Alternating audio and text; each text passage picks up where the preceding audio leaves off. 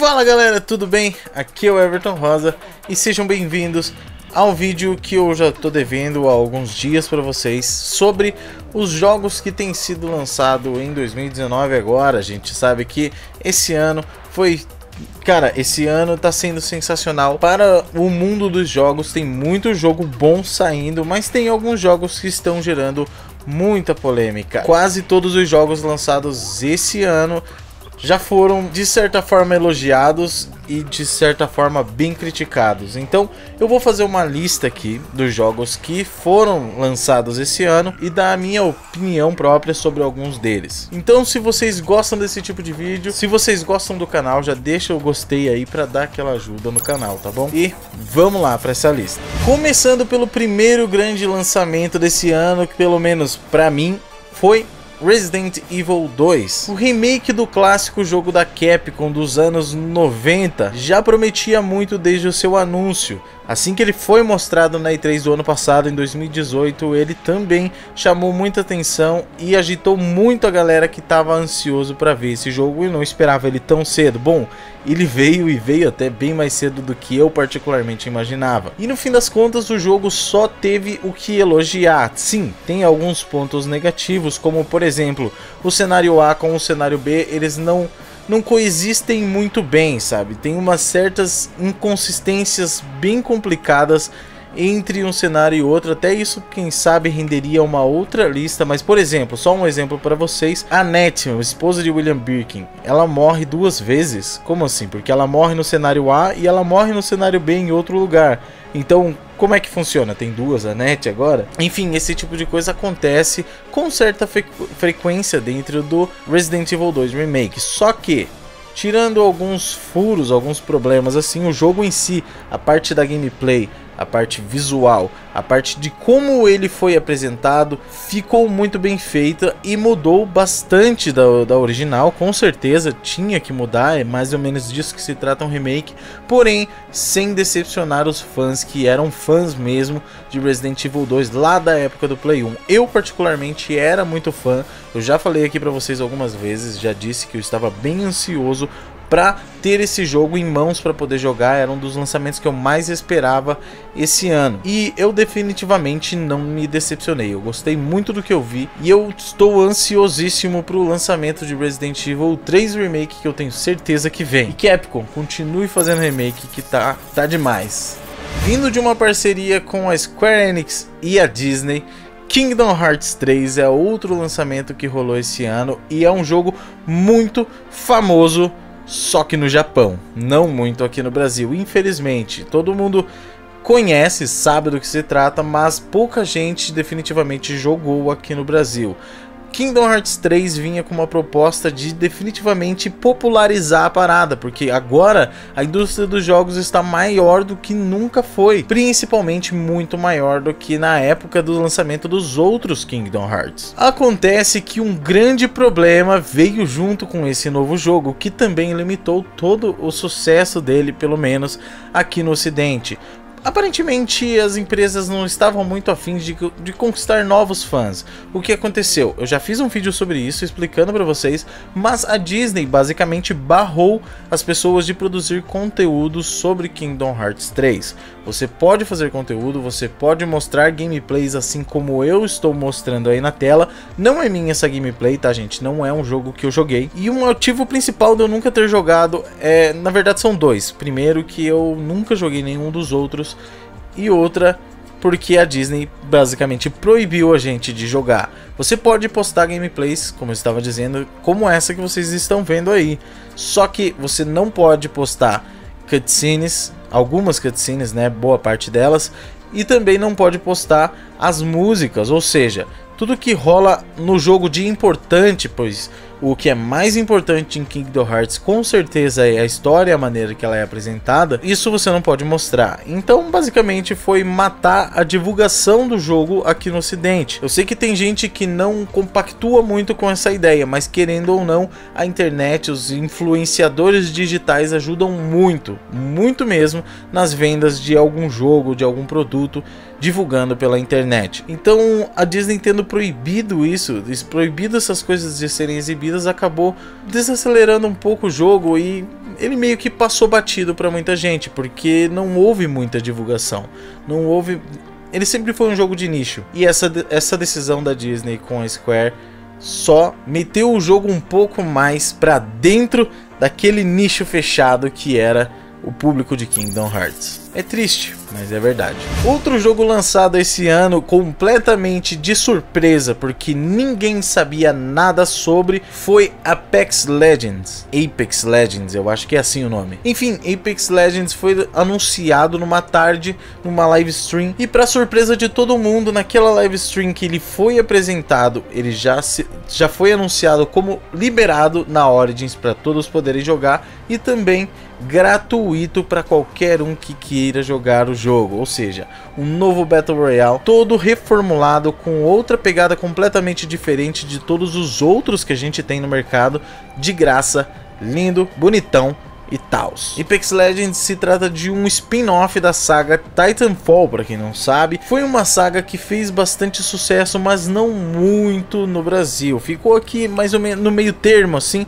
porque o jogo ele tentou bater de frente com Call of Duty, Battlefield e jogos gigantes já que tinham de FPS naquela época. Com todo aquele conceito babaca, perdoem, perdoem a minha opinião, mas é muito babaca da EA de achar que ninguém precisa de uma campanha single player decente. Tá com multiplayer lá e dane-se. Então, ou seja, Titanfall você só fazia campanha se estivesse online jogando em multiplayer. Isso era muito bizarro e pelo menos matou o jogo para mim. Eu não me interessei com, por ele por causa disso. Mas eu sei que muita gente gosta de Titanfall e tava esperando o Titanfall 3 que estaria em desenvolvimento, mas acabou que com a revelação de Apex Legends se deu por cancelado e esse modo Battle Royale que tem em uh, no Apex Legends, no Apex Legends, é difícil ficar falando esse nome. Apex Apex Legends tecnicamente enterrou as possibilidades de haver um Titanfall 3. Os desenvolvedores do jogo disseram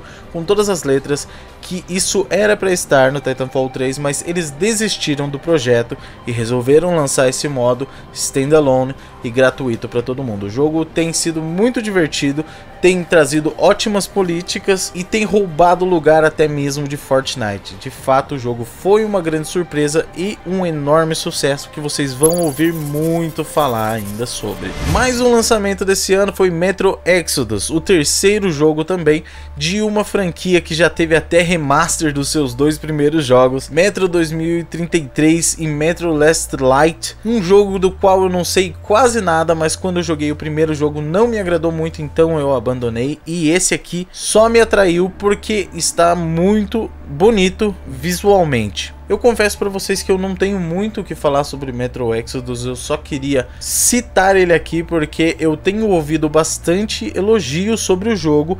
Todo mundo que eu ouvi falar que jogou o jogo está elogiando imensamente o jogo, dizendo que ele está muito bonito e muito bom de se jogar.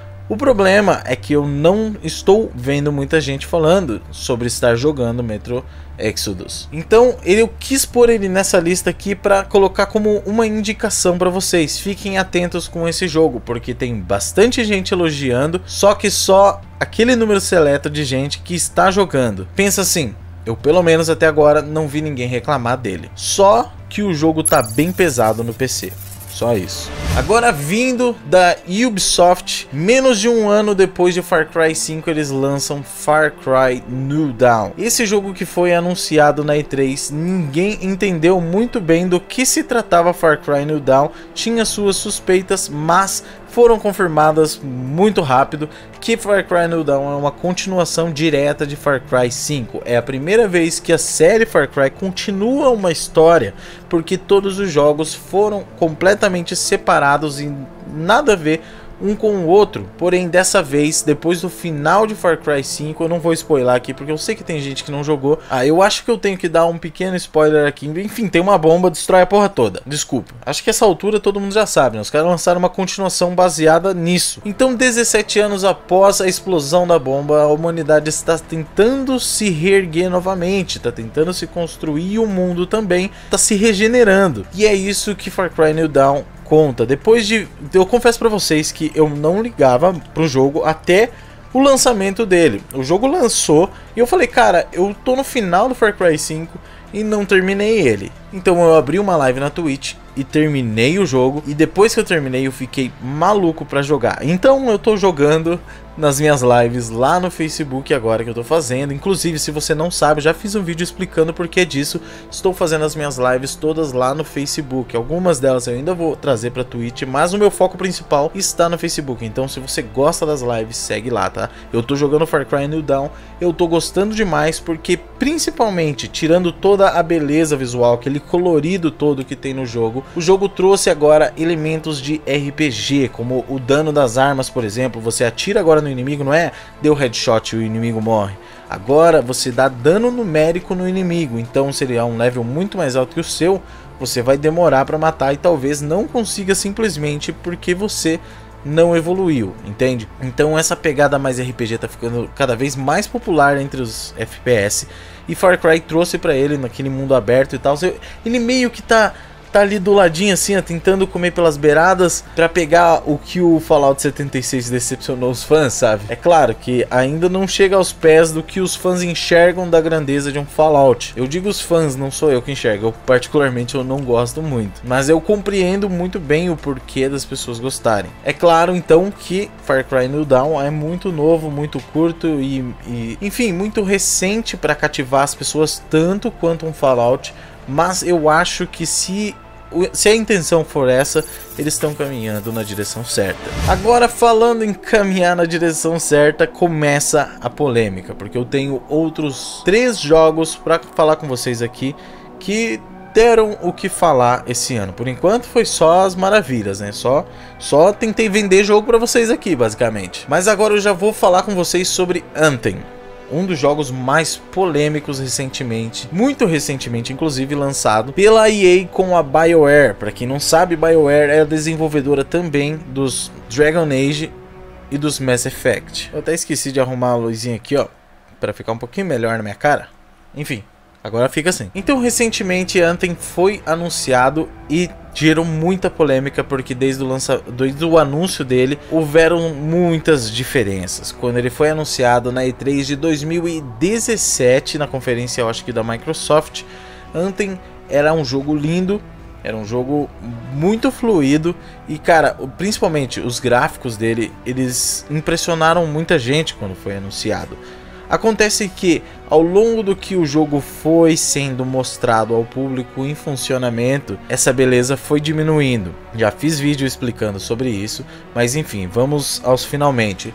Quando o jogo foi trazido ao público com uma demo VIP, a demo aberta e depois lançado, as pessoas perceberam com evidências que o jogo tinha sofrido o famoso downgrade, quando os gráficos ficam mais feios do que aquilo que foi anunciado. E como eu já disse, eu particularmente não entendo o porquê disso acontecer. Eu consigo achar uma desculpa para defender, mas entender de fato como uma empresa tão grande, tão experiente e cheia da grana consegue anunciar uma parada e deixar os fãs completamente ansiosos para algo que eles não vão entregar no final. Mas enfim, o jogo apesar de ter sofrido um downgrade, ainda é muito bonito.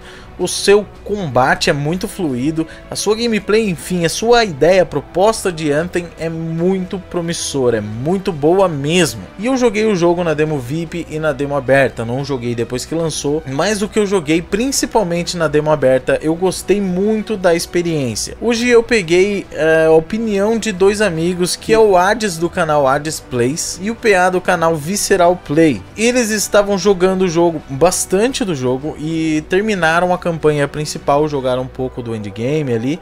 Então eu perguntei para vocês, e aí gente, o que vocês estão achando sobre o jogo? O que eles me disseram foi basicamente assim, o jogo é muito bom, é muito divertido, mas tem os seus poréns. A história é ótima, mas todos os NPCs secundários são completamente desinteressantes ou até mesmo chatos. Lembrando, a história principal é boa. Também disseram que a gameplay é muito divertida, é muito fluida e é o que te prende jogando o jogo todo. Mas o jeito que essa gameplay é aplicada é um tanto quanto repetitivo.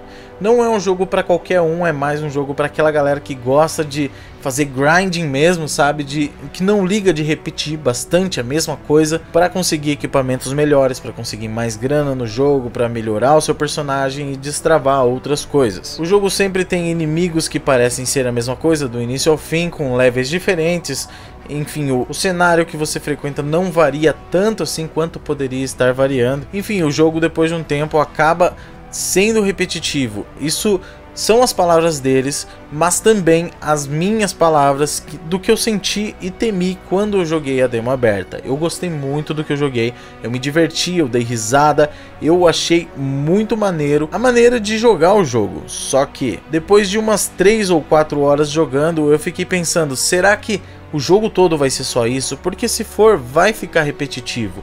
E se depois que eu terminar tudo tiver o lance do endgame, que eu tenha que. Aí é só grind mesmo, não tem mais história para estar tá te empurrando para frente, como vai ficar o jogo? Eu ficava me perguntando isso. Então tem bastante gente reclamando disso, bastante gente reclamando que o jogo tá massivo e repetitivo. E compensação, aquilo que todo mundo temia, que eram as microtransações, basicamente não tem ninguém reclamando. O que as pessoas dizem é que tem microtransações sim, as coisas não estão baratas lá para você comprar, mas que a maioria delas, pelo menos você olha e fala: "Ah, eu consigo viver sem isso. Então, gente, estou aqui vindo do futuro, como de vez em quando eu faço, para dar um update para vocês sobre a experiência do Hades no jogo. Já faz uns dois dias que eu gravei e eu tive informações novas hoje naquele grupo que a gente tem no WhatsApp. Ele mandou algumas mensagens.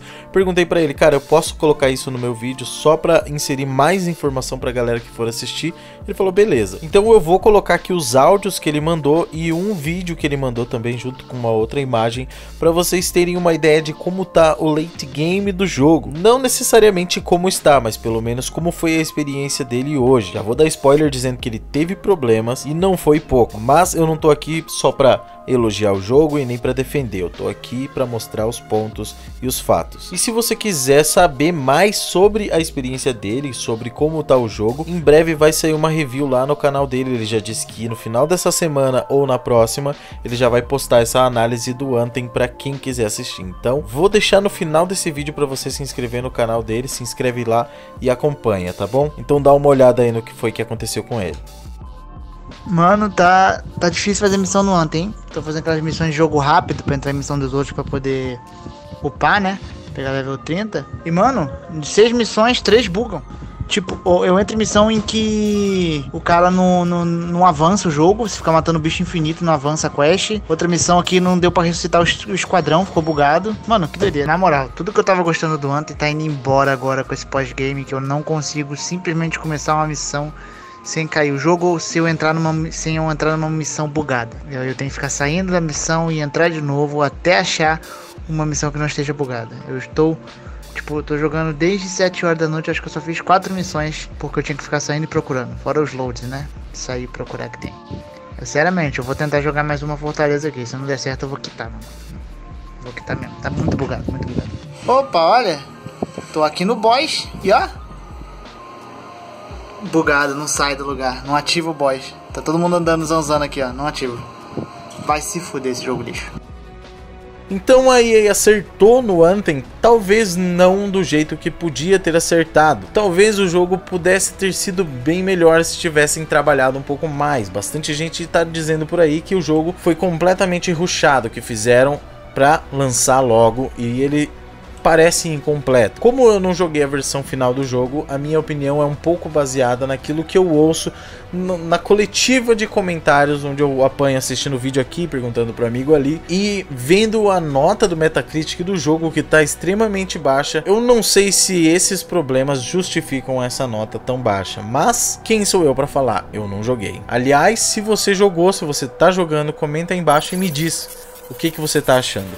A segunda bomba que eu trago para vocês aqui foi Jump Force, que incrivelmente, mesmo tendo decepcionado muita, muita, muita gente aqui no ocidente, no Japão, foi o jogo mais vendido na sua semana de lançamento. Foi, cara, o jogo fez sucesso mesmo lá no Japão, mas a gente tem que ser um pouco mais crítico quanto a isso, porque assim, eu honestamente, particularmente dizendo, já sabia que o jogo não ia ser tão bom quando eu vi o anúncio dele e fiquei pensando, cara, é um jogo sobre anime, certo? Anime, desenho. Eu sei que tem gente que se ofende, não pode chamar anime de desenho, mas enfim, vocês estão entendendo, 2D. Por que o jogo é em 3D, velho? Quem teve a ideia de fazer um jogo sobre animes em 3D. Por que escolheram 3D para fazer? E no fim a gente conhece como são a maioria dos jogos de luta que vem do Japão nessa classe. E ele veio dessa forma. Aquele combate fácil que você aperta um botão para sempre e o boneco faz tudo.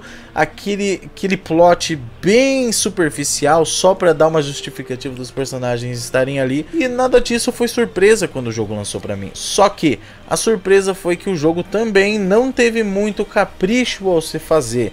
Muita gente reclama e até mesmo faz vários memes hoje em dia sobre as animações dos personagens no jogo. Eles não expressam muito sentimento, mal mexem a boca quando estão falando e muitas vezes os personagens nem se mexem quando estão em movimento de fato. Tem inclusive um que eu achei muito engraçado que é tipo um veículo que você pega para andar pelo lugar, sei lá, que é a base de vocês. Eu não entendo muito bem do jogo, mas é um veículo que é um sapo, um daqueles sapos que o Naruto invoca no, no anime dele. Só que esse sapo, ao invés de estar tá pulando, ao invés de estar, tá, sei lá, ele tá voando. Só que não é voando naturalmente, é um sapo voando. Não, mano, ele é um sapo congelado, sem mexer nem sequer a perna, nem balança voando, estático, completo. Cara, jogo todo parece, nas palavras de várias pessoas por aí, que o jogo todo parece muito com um mod de GTA. É assim que estão chamando Jump Force. Infelizmente, um jogo que prometia muito pra galera fã de anime aí, acabou decepcionando os fãs. Que pena que não seguiram as, os moldes de Dragon Ball Fighter Z, porque aquilo sim é um jogo sobre um anime. Mas quem sabe no futuro, né, gente? Quem sabe? Agora, o último jogo que eu vou citar aqui com vocês era a cereja do bolo, velho. Crackdown.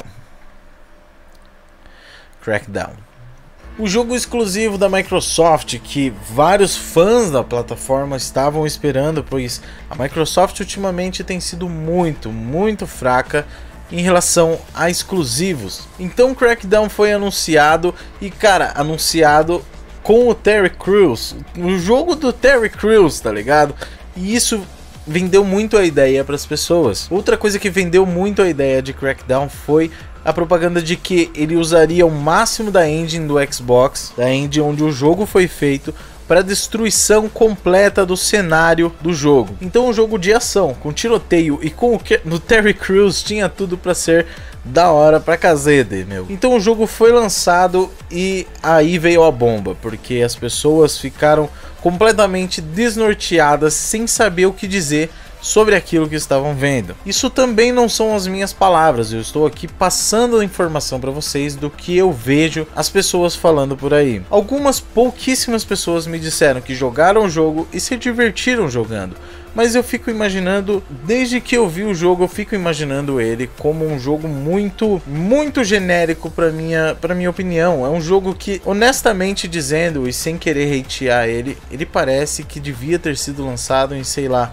2009, 2010. E não para o máximo da engine no Xbox One, e sim no Xbox 360. Já aguentava aqueles gráficos. O lance do, da destruição do cenário só funciona no multiplayer, pelo que eu entendi, não acontece na campanha single player. E assim, imagina só o multiplayer onde é você contra outros players. O que que define num shooter quem ganha e quem vence. Aquele que tem mais habilidade consegue mirar e agir mais rápido. Em Crackdown você só precisa mirar e atirar. Não precisa acertar, porque a mira é automática. Você ergue a arma e a mira tá travada no seu inimigo. Então, eu imagino que o multiplayer seja um pouco frustrante nessa questão, porque não adianta. Como é que você foge dos tiros de um inimigo? Você não foge, a mira dele tá travada em você. Então acaba virando aquele lance de tipo, ah, te matei, ah, morri, ah, te matei, morri. Fica sem graça, porque não depende mais muito da habilidade de cada um. Tirando o fato de que no PC o jogo simplesmente não rodou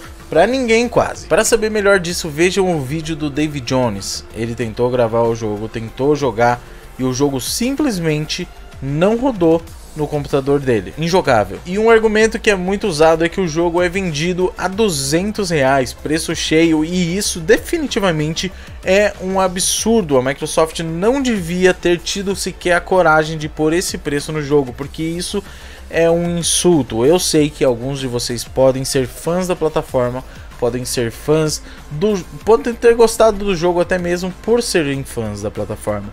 Mas nunca, gente, não importa o quanto você gosta da plataforma, nunca defenda uma política dessa, vender um jogo mal feito por um preço cheio. Eu sei, o jogo está na Xbox Game Pass, mas não importa se ele está lá.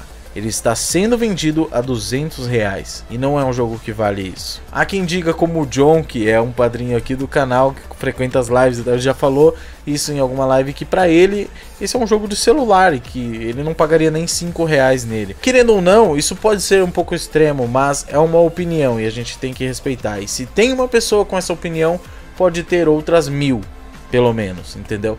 Então, eu não sei. Crackdown, eu eu fico olhando e tentando engolir e eu não, não me revolto sobre porque eu começo já do princípio que eu não entendo por que as pessoas ficaram ansiosas por ele. Porque desde o lançamento não parecia grande coisa para mim. Bom, enfim, gente, eram esses os jogos que eu queria mencionar aqui para vocês, conversar sobre com vocês. E eu quero muito saber a opinião de vocês sobre esses jogos, se vocês estão jogando algum deles, se vocês não jogaram, principalmente desses últimos que são mais cabeludos, jogos cabeludos, melhor coisa. E como eu disse já na, quando eu tava falando do Far Cry, se você gosta das lives aqui do canal, segue lá no Facebook. Eu tô fazendo as lives lá e tem dado certo. E lá vocês conseguem ajudar financeiramente o canal simplesmente assistindo a live. Sim, Facebook tem um esquema lá que ele dá as estrelinhas para quem tá assistindo, para quem compartilha, dá like na live. Essa galera ganha as estrelinhas e pode doar para mim e assim monetizando a minha live via as pessoas que me assistem. Então, se vocês gostam das lives, se vocês querem ajudar o canal, vão para lá, vamos assistir lá. E é isso, gente. Beijo na bunda de todos vocês. Eu espero que vocês tenham gostado. Até a próxima. Tchau.